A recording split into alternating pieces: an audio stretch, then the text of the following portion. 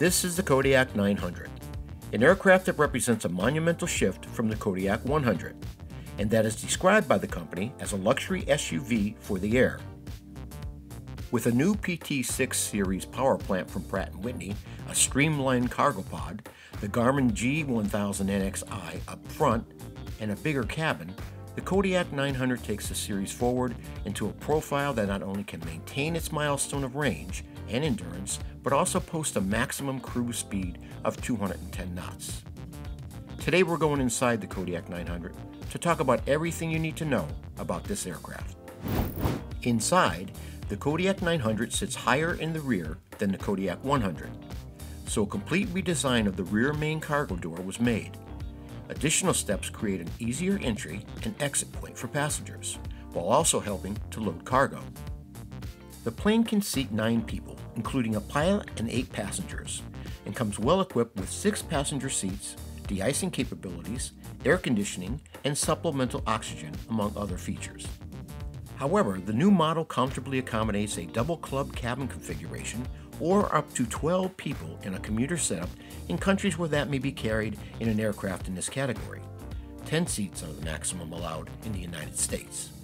Buyers can expect a modern cabin. The 900 is 37 inches or 94 centimeters longer than its predecessors, which translates into a larger cabin with more internal comfort. The company installed airframe plugs just after the flight deck and just ahead of the empennage to increase cabin volume. While longer, the fuselage is the same width and height as the original model. Taking a nod from the luxurious TBM line, each seat is reclining and has dual armrests, car-style seatbelts, headrest, and includes a Lemo aircraft-powered headset jacks, conventional headset jacks, two USB ports, a phone holder, and a cup holder. Overhead, each has a Gasper air vent with a light. Cargo tie downs are embedded in the floor, walls, and ceiling throughout, providing lots of flexibility for hauling gear. The seats have been specially designed to be easily removed or added to the aircraft depending on need. For example, if an operator wants more cargo space, they can remove the seats using two simple latches. Or, the seats can be adjusted to face each other so business passengers can talk while flying. They can also all face forward in a commuter configuration. The seats can be positioned in multiple directions. Upgraded ventilation, heating, and cooling system were also added to the 900, since the plane can climb to 25,000 feet or 7,620 meters despite having a non-pressurized cabin. Kodiak added sound dampening to the cabin. A five blade propeller is built with new composites that allow it to operate at lower RPM, so it runs with less noise and vibration. This plane can fly all over the world, even in Germany, where the noise pollution laws are incredibly strict and will pass anyone's standards, says Brown. The cockpit layout has been redesigned with ergonomics in mind and is customizable. Garmin's G1000 NXi displays and newly relocated GFC 700 autopilot make for easier and more intuitive flying. Kodiak has also added safety features like WireAware and 3D audio to increase the pilot's situational awareness. The most important improvement on the Kodiak 900 is modern safety.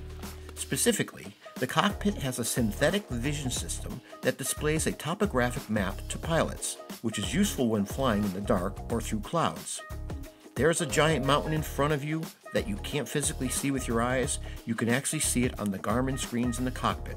So it's like eyes outside, Brown said.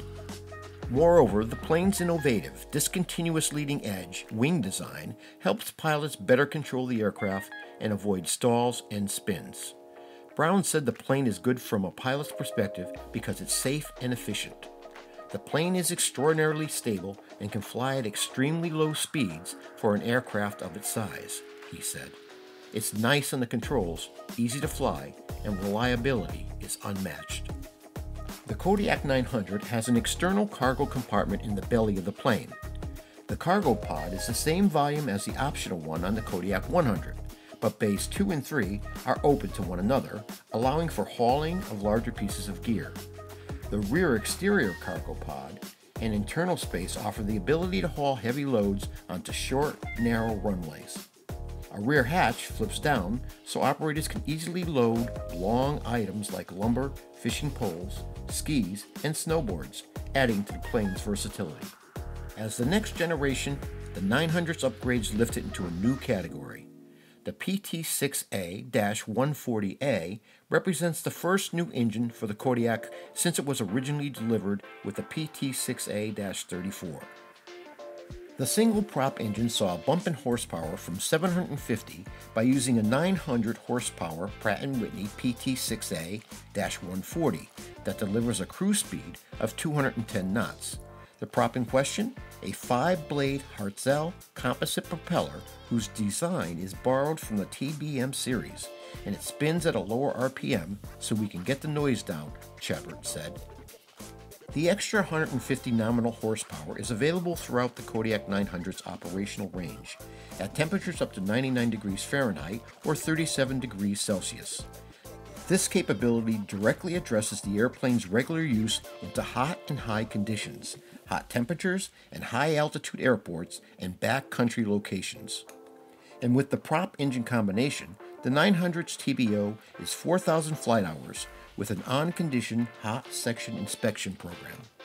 Endurance is also a hallmark of the new Kodiak. At the top speed of 210 knots at 12,000 feet or 3,660 meters, hourly fuel consumption is 58 or 228 liters, yielding 969 nautical miles or 1,795 kilometers over 4.3 hours, with a 45 minute fuel reserve while at its maximum range cruise speed of 156 knots. Hourly fuel consumption is 36 gallons or 136 liters, yielding a maximum range of 1,129 nautical miles or 2,090 kilometers over 6.8 hours. At its max endurance speed of 102 knots, the 900 has a maximum flight time of 9.2 hours. Chabbert notes that the new 140A provides a good 5% efficiency over the previous PT6A in the Kodiak. The 900 is also the first Kodiak to feature single point refueling, and Chabbert said it's already proven useful. It's extremely handy, and on our flight over to Oshkosh, we stopped at one place where it was absolutely essential that we had the single point of refueling feature on the aircraft, he remarks. The plane has takeoff distance ground roll of 1,105 feet or 309 meters, a maximum rate of climb of 1,724 feet or 525 meters per minute, and a minimum landing distance ground roll of 1,460 feet or 445 meters, all while maintaining a useful load of 3,630 pounds or 1,647 kilograms. The plane will only cost companies an estimated 300 to $400 per hour, mostly because of its 9% lower fuel consumption compared to competitors. Brown also explains the overbuilt plane is strong with reduced maintenance cost. Combining this with lower fuel consumption means that there is more profit opportunity for operators. Moreover, the Kodiak 900 is unpressurized, unlike the PC 12. The plane's cruising sweet spot is 10,000 to 12,000 feet, or 3,050 to 3,660 meters, so passengers would still feel comfortable. However, the aircraft can fly up to 25,000 feet, or 7,620 meters, and has supplemental oxygen for those flights. According to Brown, the unpressurized cabin makes the plane less complex, reduces metal fatigue, and lowers its overall operating cost.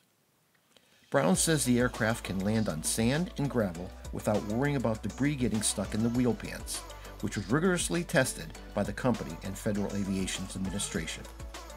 The base purchase price of the new Kodiak 900 is 3.5 million before options, and the charter price ranges between $1,500 and $2,300 per hour, judging from the previous Kodiak 100. Naturally, prices will vary depending on availability, fuel prices, ground fees, and more.